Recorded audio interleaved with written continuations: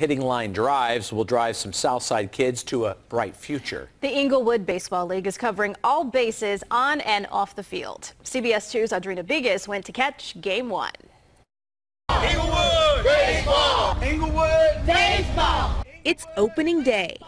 Eight, nine. Warming up for a summer of fun on the field in Englewood's Hamilton Park.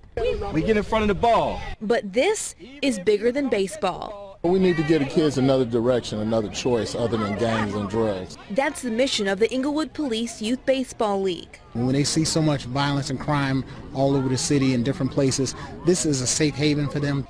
A chance to mend relationships between Southside youth and police. It's like hard to like basically communicate with police officers in this neighborhood because of most of the time there's mostly crime here.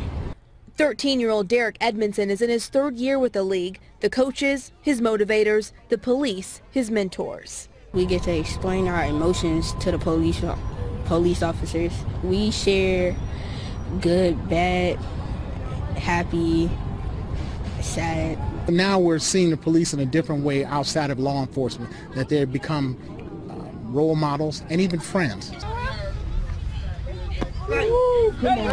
Boys and girls ages 8 to 12 play once a week. Hey, there you go. With their coaches, their families, their team, and police cheering them on. I hope they become successful citizens, nonviolent citizens.